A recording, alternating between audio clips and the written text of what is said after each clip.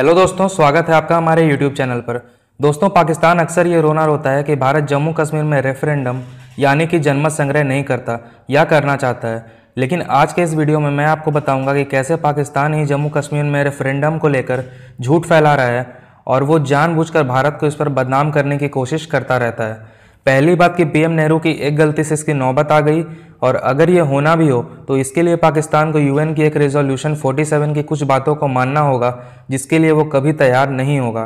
तो आज के इस वीडियो में हम यूएन सिक्योरिटी काउंसिल में, जम्मू कश्मीर में जनमत संग्रह को लेकर पास हुई एक रेजोल्यूशन 47 की बात करेंगे। लेकिन उससे पहले अगर आप हमारे चैनल पर नए हो तो चैनल को सब्सक्राइब कर इस बेल आइकन को प्रेस कर दें, ताकि मेरे वीडियोज़ की नोटिफिकेशन आप तक सबसे पहले पहुँचे। तो चलिए वीडियो शुरू करते हैं।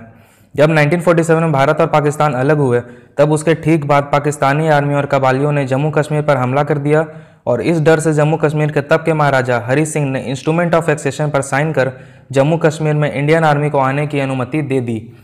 लेकिन चूँकि पाकिस्तानी आर्मी महाराजा के इस इंस्ट्रूमेंट ऑफ़ एक्सेशन को साइन करने से पहले ही जम्मू कश्मीर में घुस चुकी थी, इसलिए तब के governor general Lord Mountbatten के कहने पर महाराजा हरी सिंह ने कश्मीर की जनता के लिए जनमत संग्रह का प्रस्ताव रख डाला। और जल्द ही पीएम नेहरू ने रेडियो पर इसकी घोषणा कर दी, जिसकी कि बिल्कुल भी ज़रूरत नहीं थी। और पीएम नेहरू की इस गलती ने भारत को इतना बड़ा नासूर दे दिया। ये मामला यूएन में गया और यूएन सिक्योरिटी काउंसिल ने 21 अप्रैल 1948 को रिजोल्यूशन 47 पास किया।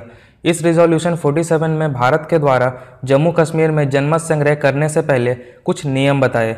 इस रिजोल्यूशन के मुताबिक जम्मू कश्मीर में जनमत संग्रह करने से पहले दोनों देशों को कुछ बातों को मानना था। और वो भी सीक्वेंशियली मतलब एक के पूरा होने पर ही दूसरी।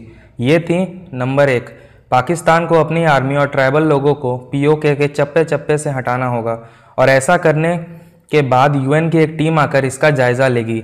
नंबर दो, इंडिया को भी अपनी आर्मी जम्मू कश्मीर से कम करनी होगी और सिर्फ़ इतनी रखनी होगी जितना कि वहाँ लॉ एंड ऑर्डर मेंटेन करने के लिए ज़रूरी हो। और ऐसा दोनों ऐसा दोनों देशों का करने पर फिर जब इंडिया कंफर्टेबल हो, तब वो जनमत संग्रह करा सकता था। ऐसा रिजोल्यूशन 47 में कहा गया।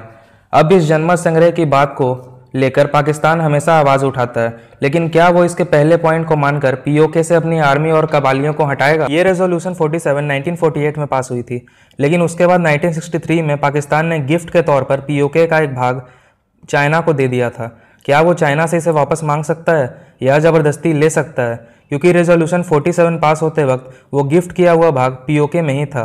इतना सब जानते हुए भी पाकिस्तान अपना झूठा प्रोपोगेंडा फैला रहा है। तो फ्रेंड्स अगर आपको ये वीडियो अच्छी लगी तो वीडियो को लाइक कर देना, अपने ओपिनियंस कमेंट करके बताना और अपने दोस्तों के साथ भी वीडियो को शेयर करना ताकि उन तक भी ये इन्फो पहुँच सके। तो ये थी जम्मू कश्मीर में रेफरेंडम से जुड़ी बातें। तब तक के लिए गुड बाय और हम फिर मिलेंगे एक नए वीडियो के साथ।